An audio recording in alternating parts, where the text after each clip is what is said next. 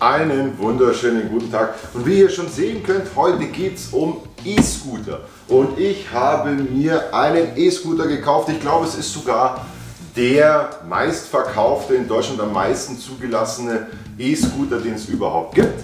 Und der ist von Xiaomi, der 1S-Scooter. In diesem Video werde ich euch auf keinen Fall irgendwelche technischen Daten um die Ohren hauen oder irgendwas dergleichen. Wir werden in diesem Video dieses Ding auspacken, wir werden es zusammenbauen, wir werden es in Betriebnahme nehmen und ganz wichtig, ich werde auch noch mal was zur Versicherung sagen. Und was ich auch gemacht habe, ich habe mir noch das eine oder andere in Anführungszeichen Gadget dazu gekauft, wo ich denke, das muss auf jeden Fall sein. Und das werden wir jetzt gemeinsam tun. Und als erstes mal packen wir den Roller aus. Ich hatte den Karton schon mal ganz kurz auf. Warum ich den Karton schon mal ganz kurz auf hatte, erzähle ich euch später noch. Und jetzt gucken wir da erstmal rein. Äh, äh, also es ist auch gar nicht so leicht. Ich glaube 12,5 Kilo wiegt dieses Ding. Und jetzt schaue ich mal, ob ich den da rauskriege. Okay, also das scheint einmal der Roller zu sein. Kann der irgendwie stehen? Ja, das wäre jetzt der super GAU, wenn der erstmal gleich vorne runterfällt. Das ist nur Pappe, da war der Reifen drin. Hier ist auch nichts mehr, hier ist auch nichts mehr. Ja, super. Mit einem Teil quasi alles rausgeholt. Dann schauen wir uns das mal an. Was ist da noch drin? Okay, ein bisschen wackelige Geschichte am Anfang. Das sieht nach Lenker aus, den muss man noch zusammenbauen. Das würde ich jetzt hier gerne... Aha, aha. Warum Anleitung lesen? Einfach mal ein bisschen ausprobieren. Und jetzt? Ja, keine Ahnung. Wir werden es gleich sehen. Hier, was ich auch ganz toll finde, hier haben wir noch ein Ersatzrad, weil dieser Roller hat Luftreifen. Und wenn man da irgendwann mal einen Platten hat, dann bräuchte man einen Ersatzreifen. Finde ich schön, dass da schon mal einer dabei ist. Da gucken wir auch gleich rein. Da ist da noch irgendwas. Sehen wir gleich. Ah, das ist schon mal schlau. Hier haben wir gleich mal den Ständer unten dran. Dann steht das Ding schon mal. Das ist nichts. Weg damit. Ne, das war es tatsächlich auch schon. Also wir haben einmal den Ersatzreifen. Jetzt müssen wir mal hier gucken. Da sind so bestimmt so Sachen drin wie Ladekabel. Genau. Hier einmal das Ladekabel. Das Teil hier, das dürfte zum Aufpumpen sein. Wenn ich hier schon sehe, äh, ja, die, na, die Ventile, die sind sehr, sehr weit innen. Und das ist eigentlich ganz nett. Da haben sie so eine Verlängerung mitgegeben quasi, damit man die Reifen gescheit aufpumpen kann. Nicht schlecht, gut mitgedacht. Ich bin begeistert. Dann haben wir hier, das ist der Rest vom Ladekabel und auch mit dem deutschen Stecker, das ist schon mal gar nicht schlecht. Ein Schraubenzieher, ein kleiner und vier Schrauben. Da gucken wir uns gleich nochmal an. Und dann haben wir hier noch das leer, eine Anleitung. Aber, weiß ich nicht, Anleitungen, nein. Gut, äh, ja, da machen wir die ganzen Folien ab. Also der erste Eindruck, den ich jetzt schon habe von dem Scooter, also er fühlt sich, ich habe es schon ein bisschen angefasst, hier oben auch, hier hinten. Es wirkt alles sehr, sehr stabil und es wirkt alles wirklich gut verarbeitet. Auch die Schweißnähte hier an sich sehen sehr gut aus. Also da kann ich nicht sagen, das wird der Lenker sein. Jawohl. Äh, gut, ich friemel jetzt erstmal alles ab und dann äh, schauen wir gleich nochmal. Okay, also gut, also ich sehe schon, der Lenker, na klar, damit er auch in die Verpackung passt, der Lenker, da gehört das Kabel höchstwahrscheinlich hier hinein. Genau so, vielleicht andersrum, dass das Licht nach vorne ist, das wäre ganz schlau. Und dann sehe ich hier schon, naja, sehr gut. Und da sehe ich hier schon vier Schrauben.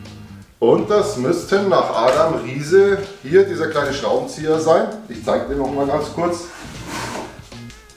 Dieser kleine Schraubenzieher hier. Und da sind vier kleine Schräubchen dabei. Und damit muss man jetzt quasi hier oben den Lenker erst noch mal befestigen. Das werden wir jetzt auch gleich tun. Und quasi hier, also den Lenker, jetzt kriege ich ihn schon gar nicht mehr raus, doch. Also dieser Lenker, der gehört dann quasi hier drauf äh, gesteckt und hier sieht man schon die Löcher und dann kann man sie hier quasi sehen. Das muss man ein bisschen einstellen mit dem Gewinde. Und dann gehören diese kleinen Schrauben hier, zwei von vorne, zwei von hinten. Die gehören dann hier rein, also zwei vorne, zwei hinten. Das mache ich jetzt schnell.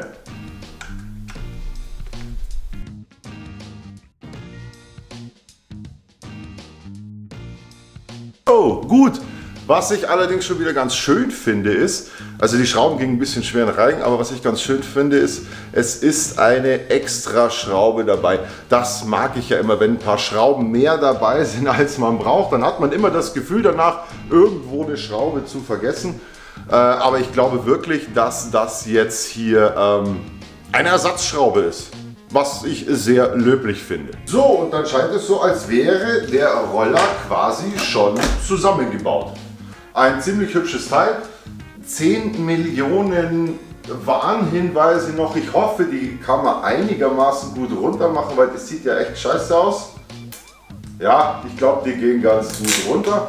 Trotzdem allerdings Warnhinweise. Wir gucken erstmal, was da noch drauf steht. Deutsch, bitte lesen Sie die Anleitung sorgfältig, bevor Sie den Roller benutzen. Ja, die Anleitung liegt da unten, aber natürlich aus Sicherheitsgründen werden wir da noch mal kurz reingucken. Und vor allem, was ich auch, was mich noch interessiert, ist, ähm, wie viel Luftdruck die Reifen brauchen. Steht es da irgendwo? wie viel Bar da drauf müssen.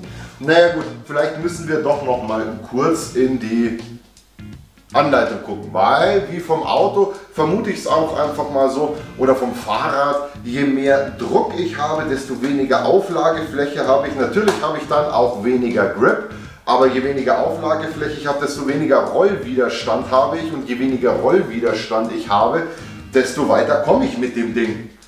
Und äh, jetzt muss man noch mal gucken, vielleicht steht es da auch drauf, ich gucke noch mal drüber, ähm, wie viel Bardruck da eigentlich in diese Reifen rein müssen. Also die sind schon wirklich gut aufgepumpt, aber jetzt schauen wir mal, ob hier noch irgendwo was steht. Dazu mache ich den Warnhinweis ab, weil ich nicht andauernd um die Ecke lesen möchte. Ja, also super viele schöne Warnhinweise. Rollerfahrer sind für alle Schäden oder Verletzungen verantwortlich, die durch Nichtbetrachtung der Anweisungen im Handbuch verursacht werden. Ah ja, berühren Sie nicht die Scheibenbremsen. Stellen Sie Ihre Füße nicht auf das hintere Schutzblech ab. Nicht bei Regen oder durch Pfützen fahren. So, jetzt äh, stellt sich die Frage natürlich für mich, also soweit ich weiß, ist der Roller spritzgeschützt. Naja gut, dass ich den jetzt, dass ich da jetzt nicht durch äh, 30 cm tiefe Pfützen fahre, glaube ich, ist auch ganz klar. Regelmäßig zu warten, um eine optimale, was warte ich denn? Reifen aufpumpen. Naja gut, okay, so viel zu den Warnhinweisen. Und tragen Sie einen Helm und tragen Sie äh, Ellbogenschützer und Knieschützer. Dann gucke ich jetzt doch nochmal in die Betriebsanleitung, weil das Einzige, was mich wirklich interessiert, ist der Reifendruck. Also die haben wir hier vorhin weggeworfen. Das wäre vielleicht wirklich sinnvoll zu wissen, was man hier für einen Reifendruck braucht. Habe ich es quasi gefunden, das was ich gesucht habe. Der empfohlene Reifendruck beträgt 50 PSI. So, äh, ja, da beißt es schon wieder aus in der Anleitung. Da werden wir gleich mal gucken. Wo ist mein Handy? Ich glaube, das müssen wir googeln. Sekunde, ich bin gleich wieder da. Hey Google, wie viel Bar sind 50 PSI? Ah, okay. Vielen Dank, liebe Google. Es ist schön, wenn man immer einen elektronischen Helfer dabei hat. Also wir sehen hier quasi, ich weiß nicht, ob man es sehen kann, sind 3,447 Bar. Also 3,5 Bar gehört in den Reifen hinein. Da werde ich mir direkt noch meine Luftpumpe holen und werde mal schauen, wie das auch funktioniert mit diesem Reifenaufpumpteil.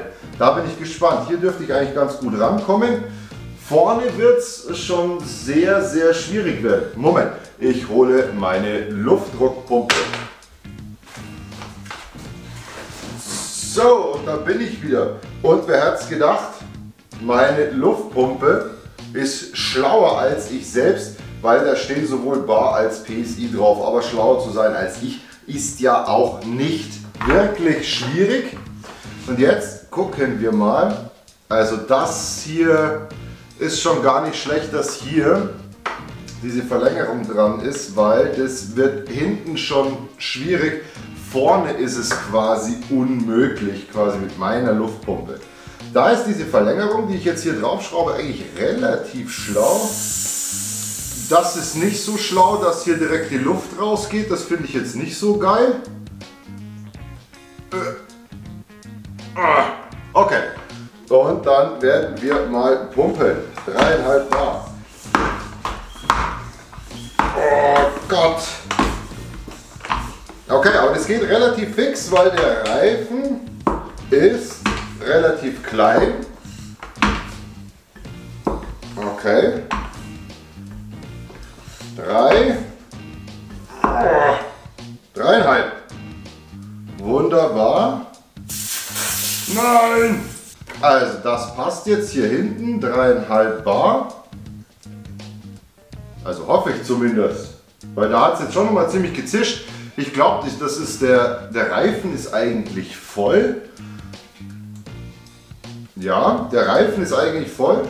Es war das wohl bloß die restliche Luft, die quasi aus dem Reifen rausgekommen, äh, aus dem Schlauch hier rausgekommen ist und aus der Pumpe. Okay, und jetzt hat hier vorne, das ist natürlich, da kriege ich nicht mal den Deckel gescheit ab. Mal gucken, ob wir, wenn wir das draufschrauben, ob da auch die Luft rausgeht. Das muss ich hinten nochmal kontrollieren.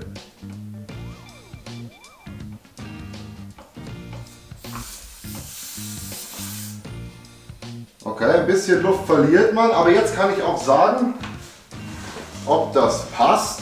Mit dem Luftdruck, wieder mit dem Luftdruck kommt. Okay, also, da sehe ich auf jeden Fall schon, dass man,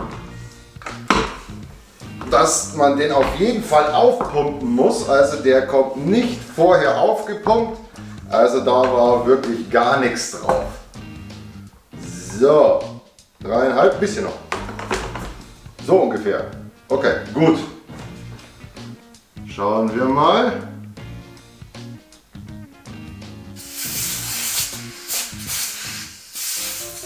Äh, das glaube ich ist irgendwie Quatsch. Und ist da jetzt Luft drauf?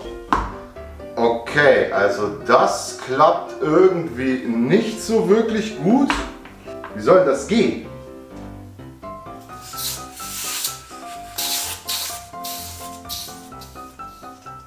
Also das ist irgendwie völliger Quatsch. Ich habe mich so gefreut, dass das Ding dabei ist. Aber das ist irgendwie Blödsinn. Oder vielleicht mache ich auch einfach wieder irgendwas falsch. Hoppala! Und ich check's wieder auf keinem Auge. Hm. So, so wie es aussieht, ist dieses Ding hier völliger Crap. Ja, also völlig für einen Eimer. Das ist wirklich scheiße, das Ding. Wie mache ich denn das? Oder vielleicht, vielleicht bin ich auch einfach zu doof. Das kann natürlich auch sein. Mhm, völliger Crap. Das ist ja ein Scheiß. Also, ich demonstriere mal kurz dieses Problem. Vielleicht bin ich wirklich zu blöd, aber ich glaube, dieses Teil hier, das da mitgeliefert ist, das ist das erste Teil, wo ich sage, das ist wirklich völliger Crap, das ist wirklich Schrott. Das Problem ist, wenn ich das Ding hier drauf schraube, ja. Dann hört man jetzt schon, also selbst, das ist eine Vollkatastrophe, ja. Also da geht die Luft völlig raus. Jetzt habe ich folgendes gemacht, also hier ist kein Ventil mehr drin, das heißt, wenn die Luftpumpe müsste eigentlich dran sein. Ich mache es jetzt so, ich klemme das hier einfach mit einer Klemme ab, dann schließe ich das an. So, und dann pumpe ich mal ganz kurz. So, Klemme wieder dran. Und jetzt habe ich quasi, also hier ist jetzt wirklich zu, jetzt mache ich das mal ab. Also ich habe jetzt mehr als 4 Bar, habe ich jetzt gemacht. Das ist nur der Restluft aus dem Ding raus. Und jetzt ist das Problem, wenn ich jetzt hier vorne abschrauben möchte, ich glaube, ihr könnt es dann auch gleich hören. Ja, geht schon los, geht schon los. Man müsste quasi irgendwie von hinten drücken und das ganz schnell abschrauben. Ah. Also so geht es einigermaßen. Ich kann jetzt natürlich nicht überprüfen, ob da äh, 3,5 Bar jetzt drin sind, aber es fühlt sich an, als also der Reifen ist hart. Na, aber dieses Ding hier mal abgesehen davon, also wenn ich nicht wirklich was völlig falsch mache, ist dieses Ding einfach, das gehört weg. Ciao, egal. Also nochmal ganz kurz, dieses Stückchen, wo da dabei ist, zum Reifen aufpumpen. Also wenn ich da jetzt nicht irgendwas völlig falsch gemacht habe, und äh, dann ist dieses Ding wirklich, das kannst du quasi so wie es ist, kannst du es wegschmeißen das Teil ist wirklich scheiße. Außer ich habe natürlich irgendwas völlig falsch gemacht. Wenn ihr eine bessere Möglichkeit wisst oder mir sagen könnt, was ich falsch gemacht habe, wäre ich euch sehr dankbar, wenn ihr das in die Kommentare schreiben würdet. Gut, okay. Aber das lassen wir jetzt erstmal so. Also der Reifendruck ist jetzt erstmal, also die Reifen sind schon hart. Das ist schon, ja, ich vermute jetzt einfach mal, dass das okay ist. Hier hinten gehört noch die Kappe drauf. Hinten, wo das ein bisschen weiter raussteht, quasi das Ventil, war das bei weitem nicht so dramatisch und bei weitem nicht so schlimm. Da ging das eigentlich relativ gut. Naja, wie gesagt, Reifendruck 3,5 Bar oder 50 PSI. Schaue ich mir noch kurz an, was das hier ist. Für ein lustiger Zettel. Wo sind wir in Deutsch? Deutsch hätte ich gern, bla bla bla. Ah ja, hier. Die Testbedingungen für einen typischen Kilometerstand sind folgende. Also 30 Kilometer soll er fahren. Gewicht der testenden Person 75 Kilo. Da bin ich schon mal ein bisschen fetter. Da können wir gleich mal 2-3 Kilometer abziehen, denke ich mal. Wetter und Temperatur 25 Grad, Außentemperatur windstill. Geschwindigkeit gleichmäßig, Fahrgeschwindigkeit 12 km/h. Ja, äh, da werde ich jetzt auch mal eine These aufstellen dass dieses Ding mit mir drauf äh, keine 30 Kilometer fährt. Ich hoffe mal, dass er so 20 bis 25 Kilometer, also es wäre natürlich cool, wenn er 25 Kilometer schaffen würde. Also die 30 Kilometer schafft er mit mir bestimmt nicht, weil es wird sicherlich nicht windstill sein, der auch vor allem vom Fahrtwind her, also diese 30 Kilometer halte ich für sehr, sehr unrealistisch, aber das wird der Langzeittest bzw. der erste Fahrtest dann auf jeden Fall zeigen. Ich habe das ja vorhin irgendwie schon aufgeklappt. Jetzt gucke ich gerade noch mal, wie man den auch zusammenklappt. Aha, ah, okay. Alles noch. Ah, okay. Gut, das ist ein bisschen tricky. Und jetzt. Ah, okay, cool. Das wird an der Klingel eingehängt und dann kann man ihn mitnehmen. Gut, das muss man ein, zwei Mal gemacht haben. Das hier vorne, das zeige ich euch gleich noch mal ein bisschen genauer.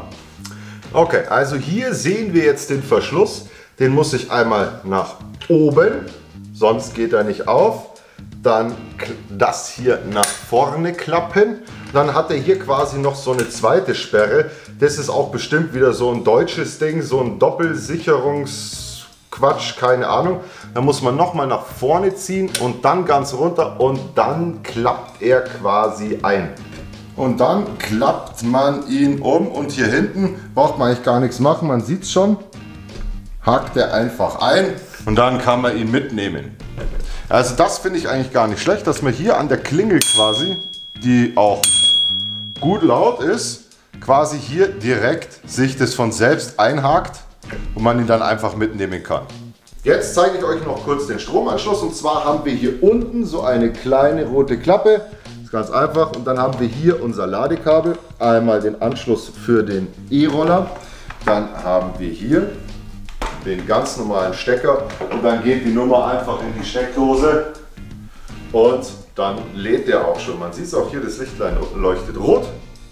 In diesem Moment wird der E-Roller geladen. Fertig.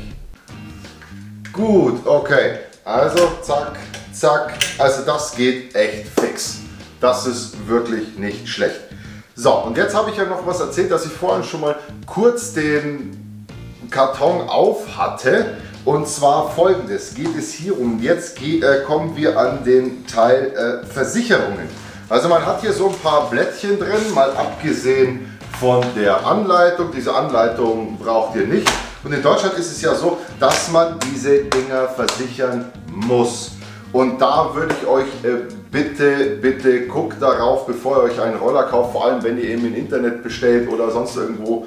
Der muss eine allgemeine Betriebserlaubnis haben, eine sogenannte ABE. Sonst kriegt ihr den niemals versichert. Und ohne Versicherung könnt ihr mit diesem Ding nicht fahren. Da sind mehrere äh, Sachen dabei. Und hier steht auch geprüft vom TÜV Rheinland. Also das sollte man auf jeden Fall mitgeben. Das ist dann in mehreren Sprachen drauf.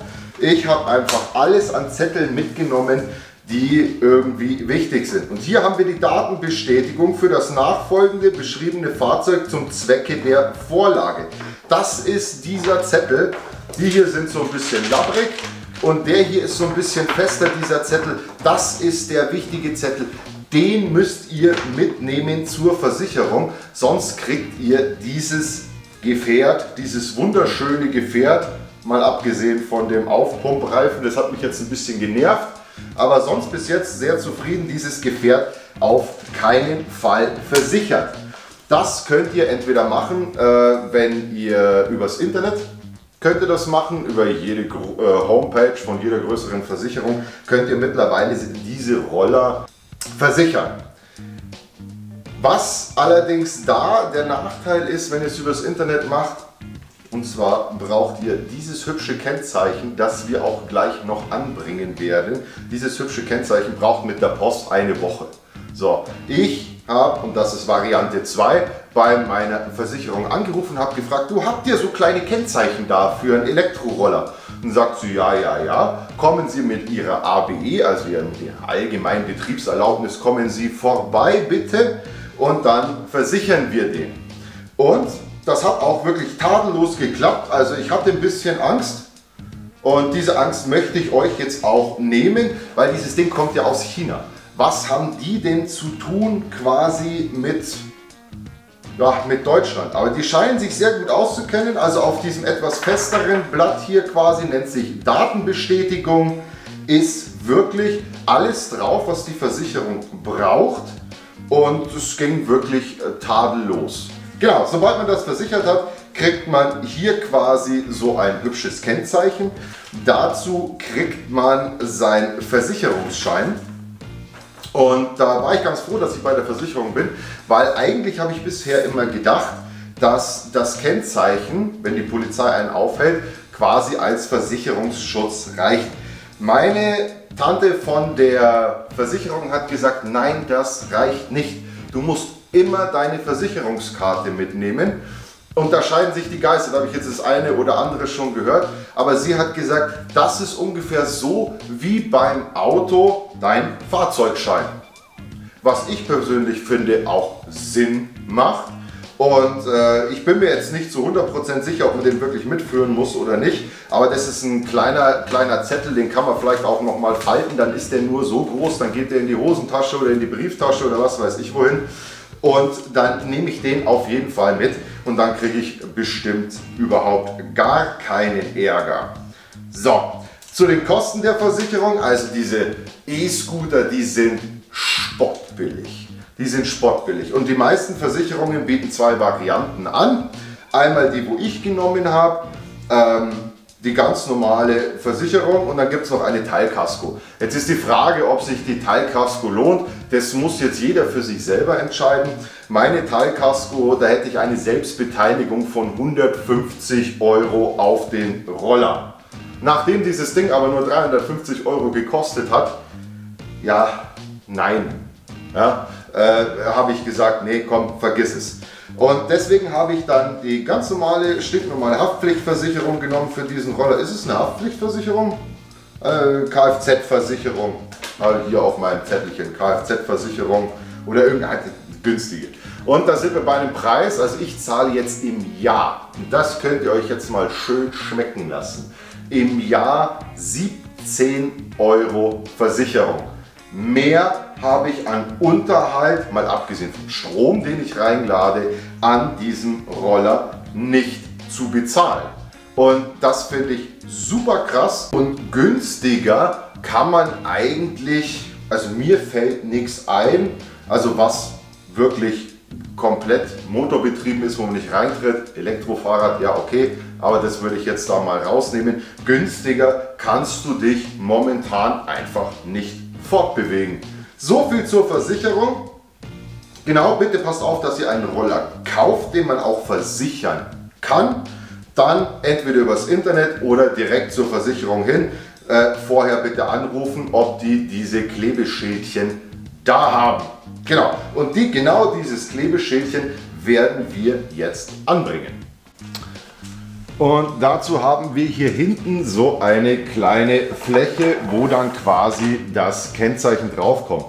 Ähm, die Versicherungen laufen immer von März bis März. Für 2021 sind die Schildchen blau und äh, nächstes Jahr hat das Ding dann wieder eine andere Farbe. Ganz wichtig, das müsst ihr jedes Jahr selbstständig erneuern. Das kriegt ihr von der Versicherung nicht zugeschickt. Das hat den einfachen Grund, dass ihr quasi mit eurer Versicherungskarte, also mit eurem Versicherungsschein, müsst ihr dann quasi wieder zur Versicherung hin und müsst euch ein neues Schildchen holen. Äh, meine Versicherungstante hat gesagt, die haben die Schilder immer schon so ab äh, Ende Januar, Anfang Februar haben die diese Schildchen schon und dann kann man einfach hingehen mit seiner Versicherungskarte und sich ein neues holen.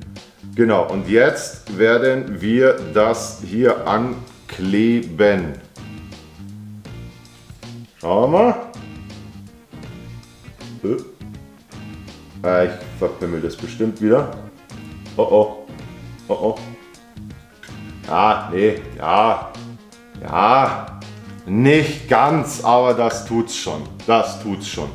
Und in diesem Moment, in dem ich diesen Kleber hier drauf gemacht habe, darf ich auf Fahrradwegen und auf Straßen fahren und quasi mich frei bewegen mit diesem Roller. Top! Das nächste und quasi das letzte, um jetzt den Roller in Betrieb zu nehmen, ist jetzt, wir müssen ihn mit der Xiaomi Home App quasi koppeln. Hier sind noch, also hier steht jetzt quasi der Roller. Ich habe euch mein Handy jetzt halt hier mal auf meinen Fernseher gespiegelt. Hier sind noch so ein paar Aufkleber drauf, die können weg. Da steht nur drauf, wie das zu bedienen ist. Also quasi, ich muss jetzt einmal drauf drücken und dann wird es piepen. Jetzt schauen wir uns erstmal diese Xiaomi App an. Also die könnt ihr überall runterladen. Also ich jetzt zum Beispiel bei Android, ich habe es einfach über den Play Store gemacht. Dann machen wir die mal auf. Genau, und hier und da müsst ihr, wenn ihr sie runtergeladen habt, müsst ihr euch einmal registrieren. Das ist leider so. Und jetzt schalten wir mal diesen Roller an. Dann gucken wir gleich mal. Er piept ziemlich hässlich. Jetzt habt ihr hier oben in der Ecke ist ein Plus. Da drücke ich jetzt gerade mal drauf.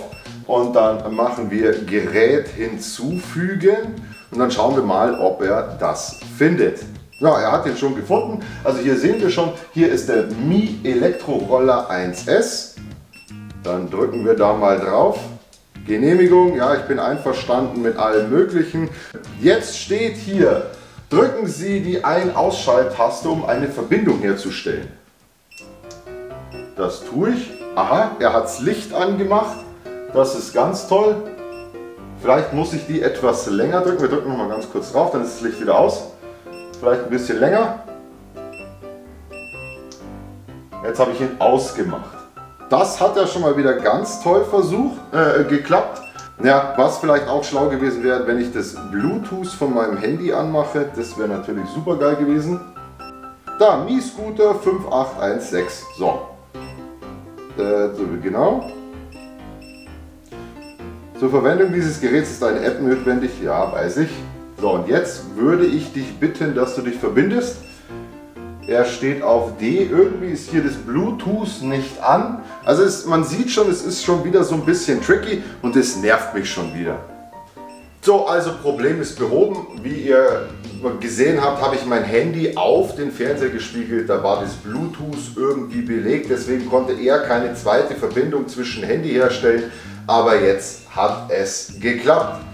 Also, er hat dann registriert, er hat ihn gefunden. Ich schaue mal, ob ihr das so sehen könnt.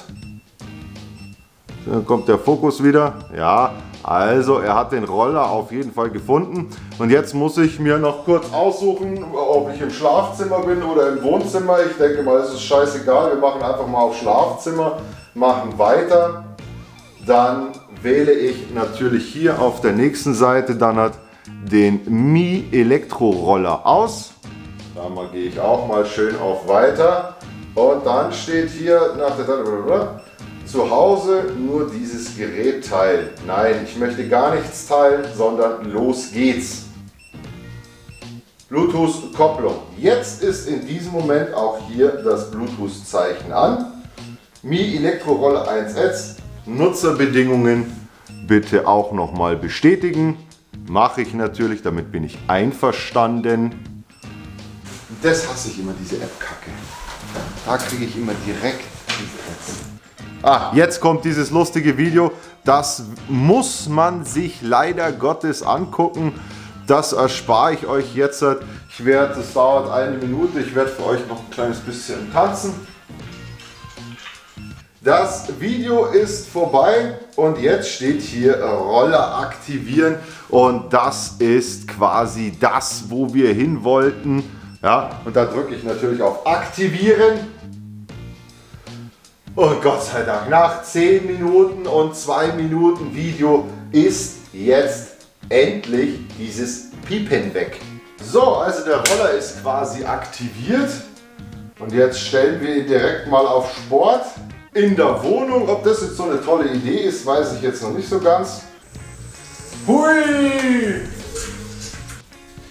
Ja, also Roller aktiviert, Roller funktioniert, Roller fährt. Und jetzt äh, habe ich natürlich noch ein paar kleine Sachen dazu gekauft. Die werde ich jetzt noch anbauen. Das jetzt mit der Aktivierung, ganz ehrlich, ja, das war ein bisschen schwierig. Also es hat ein bisschen gedauert, dann ist er wieder ausgegangen, dann hat er wieder gepiepst. Aber das hat jetzt ungefähr gedauert 10 Minuten, Viertelstunde, wenn man es richtig macht. Ja? Aber es funktioniert, es fährt in der Wohnung nicht ratsam. Auf jeden Fall kümmern wir uns jetzt als nächstes um die Sachen, die ich jetzt noch extra für den Roller gekauft habe. So, und jetzt kommen wir zu Dingen, wo ich sage, die brauchen wir bei diesem Roller auf jeden Fall, damit es irgendwie Sinn macht. Und als erstes habe ich hier so eine Tasche gekauft. Das ist eigentlich mehr oder weniger so ein Softcase. Das kostet auch nichts. Das kostet irgendwie, weiß ich nicht, 15 Euro, glaube ich, habe ich bezahlt. Und das, ist das erste Teil, was wir jetzt anbauen werden. Und da werden wir mal gucken, ob das klappt. Und zwar hätte ich das gerne direkt unter dem Lenker. Hier sehen wir schon, das Kabel ist schon wieder so ein bisschen verfrickelt. Wird es dann, aber ich glaube, das geht ganz gut. Und jetzt habe ich quasi vorne an meinem Roller eine Tasche dran, die ich auf und zu machen kann. Und wo ich was mitnehmen kann, was sehr, sehr wichtig ist. Und da kommen wir jetzt quasi zum zweiten Teil. Das nächste, was man natürlich braucht, ist ein Schloss. Und hier habe ich so ein richtig cooles, massives Handschellenschloss gekauft. Das auch wirklich geil und für E-Roller optimal, weil wenn man diese ein paar Schlüssel dabei, machen wir mal auf. So, und dann ist es ganz einfach und wo soll man es denn hinmachen? Also man könnte es hier festmachen, die meisten machen es aber dann hier unten fest. Zack, und dann kann ich mich hier quasi an jedes Straßenschild, an alle möglichen Pfosten oder so kann ich mich anketten und so klaut dieses Ding auf keinen Fall jemand. Ich habe ein bisschen teureres gekauft, weil es dann innen auch noch gummiert ist. Hier. Und äh, da den Roller halt nicht verkratzt dann hier unten, wenn er am Metall dran ist. Und dann habe ich das hier quasi so. Und dann sollte das nach Adam Riese, ich habe es schon drin, hier vorne perfekt in diese Tasche hineinpassen. Und dann habe ich quasi mein Schloss immer dabei. Das ist das Zweite, was ich wirklich sinnvoll halte, weil wenn ich meinen eigenen Roller habe, dann möchte ich den nicht irgendwo stehen haben. Und so ein Handschellenschloss scheint hierfür wirklich gut geeignet zu sein, also für so einen Roller. Tipptopp. Dann kommen wir zum dritten, was man auf jeden Fall noch braucht.